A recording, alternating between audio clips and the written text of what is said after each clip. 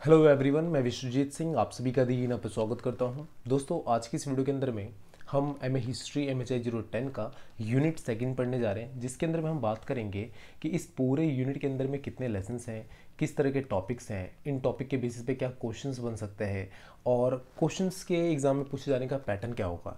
एक तरह का ये सेलेक्टिव स्टडी है, क्योंकि टाइम कम है आपके पास, और टाइम कम होने के कारण से हम क्या करते हैं कि कुछ चीज़ों को चुनकर पढ़ते हैं कि ये चीज़ ज़रूरी है, इसको पढ़ो और टाइम अपना सेव करते हैं।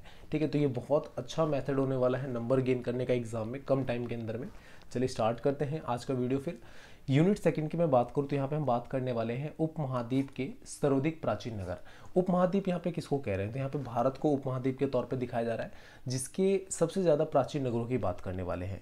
और पूरी बुक के अंदर में है, ऑलमोस्ट हम भारत की ही बात करेंगे। रीज़न ये है कि भारत के नगरीकरण व्यवस्था को ये पूरा बुक दर्शाता है, ठीक है? जो भी अर्बनलाइजेशन हुआ भारत के अंदर में, किस प्रकार से हुआ, उसके बारे में हम यहाँ पर बात करेंगे। तो इस यूनिट का जो पहला चैप्टर है चैप्टर नंबर फिफ्थ जिसके अंदर हम बात करते हैं, प्रारंभिक नगरवाद का परिचय। स्टार्टिंग में नगरवाद किस प्रकार का था, ठीक है? उसका इंट्रोडक्शन किस तरह हुआ अर्ली अर्बनाइजेशन किस तरह का था उसके बारे में हम यहाँ पे बात करेंगे। तो देखो जब यहाँ पे एक इंपॉर्टेंट क्वेश्चन आता है इस चैप्टर के अंदर में कि नगर नगरवाद और नग, नगरीकरण है क्या? नगर नगरवाद और नगरीकरण है क्या? तो नगर मतलब होता है शहर, जहाँ पे लोग रहते हैं, ठीक है? जो किस हिसाब से शहर को देखते हैं? आकार के हिसाब से, आकार के हिसाब से बड़ा होगा, ठीक है? घनी आबादी वाला होगा, जनसंख्या ज़्यादा होगी, व्यवसाय होगा, अर्थव्यवस्था होगी उसकी तो उसको हम शहर के तौर पर डिनोट करते हैं। दिल्ली में रह रहे तो दिल्ली के अंदर में क्या है कि ज़्यादा आबादी है, ठीक है? क्षेत्र भी बड़ा है, ठीक है? क्षेत्र छोटा भी है तो भी ज़्यादा आबादी है, ठीक है? और जनसंख्या है, व्यवसाय है, और अर्थव्यवस्था इसकी खुद की एक इकोनॉमी है। ठीक है तो उसको हम नगर के तौर पे ट्रीट करते हैं। तो यहाँ पे क्वेश्चन ये रहता है, नगर, नगरवाद और नगरीकरण का। नगरीकरण है क्या? इसके बारे में बताइए, इनकी विशेषता बताइए। आपस में एक तरह से तुलनात्मक क्वेश्चन के तौर पे इसको हम देखते हैं। तो नगर समझ में आ गया? नगर मतलब हो गया शहर। नगरवाद मतलब क्या होता है? नगरीय व्यवस्था। किस तरह की व्यवस्था है नगर के अंदर में? जैसे देखो, दो मकान बने हुए, चार मकान बने हुए हैं, ठीक है, पार्क बना हुआ है, हॉस्पिटल बने हुए हैं। तो किस तरह की व्यवस्था है? किस तरह से चीज़ें चल रहा है? ठीक है तो उसको हम नगरीय व्यवस्था कहते हैं, नगरवाद कहते हैं। तो यहाँ पे इस बुक, चैप्टर के अंदर में हम नगरवाद पढ़ने वाले हैं कि किसी भी जगह का जो भी एरिया है, मान लो कोई भी एरिया, कोई भी क्षेत्र है तो वहाँ की व्यवस्था किस प्रकार से कि यहाँ पे दो घर हैं, एक हॉस्पिटल है, एक कुआँ है, एक नदी है, एक तालाब है तो किस तरह की व्यवस्था है? नगर की व्यवस्था, नगरीय व्यवस्था, उसके बारे में नगरवाद के अंदर में बात करते हैं। तीसरा इसमें जो पॉइंट आता है हमारा, नगरीकरण, ठीक है तो उसमें ये कहता है, नगर बनने की प्रक्रिया क्या है? ऐसा तो है नहीं कि रातों रात बन गया, ठीक है। रातों रात तो बना नहीं होगा, सुदामा की तरह तो हुआ नहीं होगा कि कृष्ण भगवान के पास गया और चावल जो भी था लेकर और उसके बाद उन्होंने खाया और पूरा एकदम महल बन के तैयार। जब वापस आया तो वो पहचाने ना कि कहाँ चला गया। तो ऐसा तो हुआ नहीं होगा। तो उसकी पूरी प्रक्रिया क्या है? तो नगरीकरण क्या होता है, वो यहाँ पे डिफाइन करोगे। ठीक है तो यहाँ पे एक ही इंपॉर्टेंट क्वेश्चन बनता है, नगर, नगरवाद और नगरीकरण क्या है? ठीक है, उसको आप यहाँ पे डिफाइन कर सकते हो और अच्छे नंबर मिल जाते हैं। दूसरे चैप्टर की ओर बढ़ते हैं चैप्टर नंबर सिक्स जहाँ पे हम बात करते हैं हड़प्पा बस्तियों की विस्तार और संरचना। अब देखो, हड़प्पा बस्तियों के बारे में आपने बहुत बार पढ़ा होगा। हड़प्पा बस्तियाँ हैं क्या? तो देखो, हड़प्पा बस्तियाँ दो भागों में विभाजित है। दुर्ग शहर और निचला शहर। दुर्ग शहर ऊंचाई पे बसा हुआ है, निचला शहर नीचे में बसा हुआ है। इसके बारे में मैंने हज़ारों बार आपको पढ़ाया, आपने कई बार पढ़ा होगा। ठीक है तो हड़प्पा बस्तियों का विस्तार की अगर बात करो तो पहले तो कुछ स्टार्टिंग में जब जब इसकी खोज की गई तो लोगों को ये लगा, जो इतिहासकार थे, उनको ये लगा, पुरातत्व विभाग के जो लोग थे कि हड़प्पा ही बस एक पुरातात्विक स्थल है।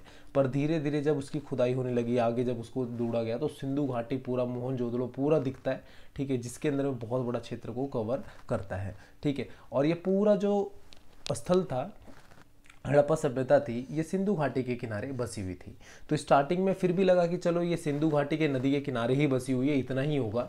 पर बाद में धीरे धीरे धीरे धीरे जब भारत का जब स्वतंत्र हुआ, उसके बाद भारत के अंदर में भी कई जगह पे खुदाई हुई, तब पता चला कि भारत के भी कई सारे एरिया में, जैसे कालीबंगन, लोथल धोलावीरा, इन सब जगहों पे भी उस हड़प्पा सभ्यता के साक्ष्य मिलते हैं। तो यहाँ पे नॉर्मली इसके अंदर में बात करेंगे कि हड़प्पा सभ्यता का बस्तियाँ किस प्रकार की थी? तो मैंने बताया, दुर्ग और निचला शहर, विस्तार किस प्रकार से हुआ?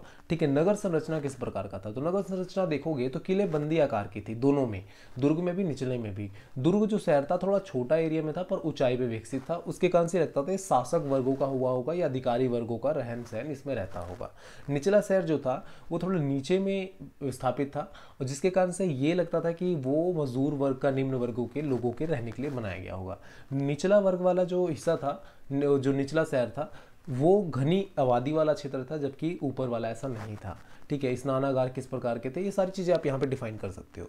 नगर संरचना आपको मैंने बता दिया, ठीक है, दीवारें बताई दिया कि चारों तरफ़ से किले बंदी थी, ठीक है, चबूतरे, दीवारें किस प्रकार के कच्ची मीटों की, ईटों का निर्माण किया जाता था, उसके थ्रू चबूतरे बनाए जाते थे, उसके बाद घरों का निर्माण किया जाता था, नालियों का निर्माण किया जाता था, गलियों का निर्माण किया जाता था, जल निकासी व्यवस्था थी, ठीक है, वो बता सकते हो। तो ये पूरा हड़प्पा सभ्यता की संरचना। इंपॉर्टेंट क्वेश्चन है, अच्छे से इसको कर सकते हो, बिना कोई डाउट के ज़्यादा पढ़ने की ज़रूरत नहीं होगी, क्योंकि आपने बहुत बार ये हड़प्पा सभ्यता का क्वेश्चन पढ़ा होगा अभी तक। ठीक है? क्वेश्चन नंबर सेवन की ओर बढ़ते हैं। क्वेश्चन चैप्टर नंबर सेवन की ओर।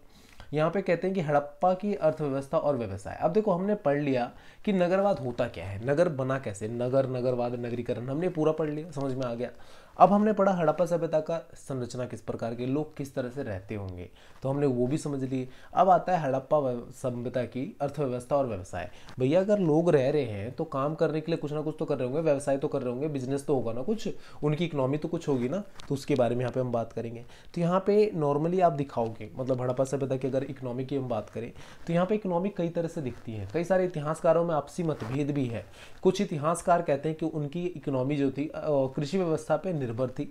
पर वहीं पर आज के हिसाब से तुलनात्मक जो इतिहासकार रहे, उन्होंने ये बोला कि इनकी इकोनॉमी कृषि व्यवस्था पर निर्मित नहीं थी नहीं थी डिपेंड नहीं थी। रीज़न क्या था कि आज के हिसाब से जो पूरा सिंधु सभ्यता है, हिंदू जो हड़प्पा सभ्यता है, सिंधु घाटी की सभ्यता है, वो बंजर भूमि एक तरह से, रेतीली भूमि है, जहाँ पर फ़सल उगाना इम्पॉसिबल जैसा लगता है, जिसके कारण से ये कहा गया। पर स्टार्टिंग में कहा जाता था कि वो उपजाऊ भूमि थी, इसके कारण से यहाँ पे कृषि व्यवस्था थी, ठीक है? पर यहाँ पे अगर आप इसकी अर्थव्यवस्था को परिचय दोगे, ठीक है? अर्थव्यवस्था को या व्यवसाय को परिचय जब यहाँ पे दोगे तो यहाँ पे आप किस किस चीज़ को पॉइंट आउट कर सकते हो? गैर कृषि उत्पादन पे ठीक है, गैर कृषि उत्पादन क्या? जो कृषि के अलावा किसी और चीज़ का उत्पादन करते हैं। शिल्प उत्पादन को यहाँ पे आप बता सकते हो कि शिल्प उत्पादन किस प्रकार से था। वहीं पर कृषि उत्पादन भी तो कहीं ना कहीं होता था, क्योंकि कई जगह पे लोथल लोथल में खुदाई के साक्ष्य मिले हैं, ठीक है, अनाज के दाने मिले हैं। तो अनाज के दाने हैं तो उसकी खेती होती होगी, ठीक है तो वो चीज़ें रहती हैं। जीवन निर्वाह का तरीका क्या था? किस तरह से वो जीवन निर्वाह करते थे? इनके बेसिस पे आप यहाँ पे डिफाइन कर सकते हो। और ये क्वेश्चन यहाँ पे खत्म हो जाएगा, ठीक है?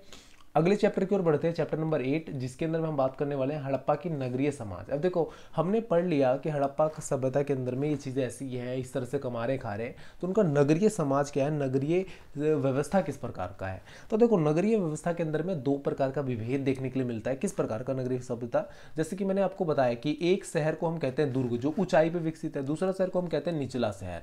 तो यहाँ पे क्या है? दोनों में आपसी मतभेद होगा ना? एक तरह मैं बता रहा हूँ कि निम्न वर्ग के लिए निचला शहर बनाया गया, जबकि उच्च वर्ग अधिकारी वर्ग शासक वर्ग के लिए दुर्ग शहर बनाया गया। ठीक है तो नगरीय सब सब सभ्यता के अंदर में, नगरीय समाज के अंदर में थोड़ा सा मतभेद यहाँ पे देखने के लिए मिलता है आपसी।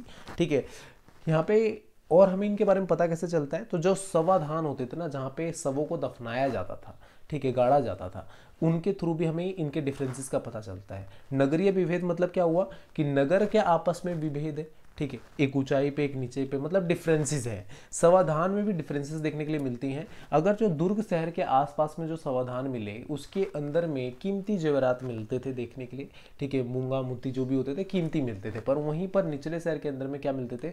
हड्डी, मिट्टी के ऐसे ऐसे चीज़ें ना, जो मतलब आम लोगों के लिए थे, वो मिलते थे। ठीक है साथ साथ में जातीय, संगोत्रीय संबंध भी देखने के लिए मिलते हैं। यहाँ पे जो समाज था, वो जातीय संगोत्र पे व्यवस्थित था। ठीक है, संगोत्र व्यवस्था क्या होता है? जहाँ पर आपको किससे रिलेशन बनाना है? तो या फिर क्या कर सकते हो? व्यापार कर सकते हो उसके साथ जिससे रिलेशन बने, या फिर शादी शादी कर सकते हो उससे रिलेशन बने। ठीक है तो इस तरीके से चीज़ें होती थी। तो सगोत्रीय संबंध किस प्रकार से स्थापित हुए नगर के अंदर में, वो बता सकते हो। ठीक है साथ साथ में सामाजिक विभेद, घरों का आकार आकार किस तरह से था, बड़ा आकार, छोटा आकार, वो मैंने आपको स्टार्टिंग में बता दिया तो वो यहाँ पे आप डिफाइन करोगे और उसके बेसिस पे आपको नंबर मिल जाते हैं, ठीक है? इस पूरे यूनिट में से एक से दो क्वेश्चन बनने के चांसेस रहते हैं ना थोड़ा ध्यान से पढ़िएगा। चैप्टर नंबर नाइन की ओर बढ़ते हैं, जिसमें हम बात करेंगे एक प्रमुख नगरीय केंद्र का अध्ययन। ठीक है, अब प्रमुख नगरीय केंद्र का अध्ययन की हम बात करें तो सबसे बड़ा जो मतलब कहा तो जाता है हड़प्पा सभ्यता, पर मेनली जो सबसे बड़ा अध्ययन नगरीय केंद्र था वो मोहनजोदड़ो को माना जाता है। रीज़न ये था कि पूरा जो शहर व्यवस्था थी वो मोहनजोदड़ो में ही स्थापित थी। तो यहाँ पे भी जब आप बात करोगे तो यहाँ पे आप बताओगे मोहनजोदड़ो का नगर व्यवस्था किस प्रकार की थी, नगर की विशेषता क्या थी, वो आप यहाँ पे डिफाइन करोगे। नगर की विशेषता क्या बात करोगे? तो जैसे दुर्ग शहर किस प्रकार का था? ठीक है, निचला शहर किस प्रकार का था? स्नानागार किस प्रकार से हुआ करते थे? गलियाँ किस प्रकार की थी? पानी का जो जल निकासी थी, जल निकासी किस तरह से होती थी? ये सारा कुछ यहाँ पे आप डिफाइन करते चले जाओगे। नंबर इसके बेसिस पे आपको मिल जाएँगे। ठीक है? तो दोस्तों, ये वाला यूनिट यहीं पर ख़त्म होता है। आपको वीडियो कैसी लगी कमेंट करके बताएँ। और आप सबसे मैं उम्मीद करता हूँ कि अगर आपको वीडियो अच्छी लग रही है ठीक है, आपके लिए वीडियो वैल्यूबल है यूज़फुल है, अगर 0.1 परसेंट भी वैल्यूबल है तो प्लीज़ लाइक शेयर सब्सक्राइब ज़रूर करें और अपने दोस्तों तक पहुँचाएँ, जो भी जिनको नीड है इस वीडियो की, जो M S I zero ten पढ़ रहे हैं एम हिस्ट्री में ज्वाइन करने की सोच रहे हैं, उनको वीडियो ज़रूर दें, ठीक है, उनको बहुत ज़्यादा यूज़फुल होने वाला है उनके लिए वीडियो और दोस्तों वीडियो थोड़ा थोड़ा बड़ा होने वाला है रीज़न ये है कि जो ये चैप्टर है, जो आपके M H I zero ten है, वो बहुत लेंथी है।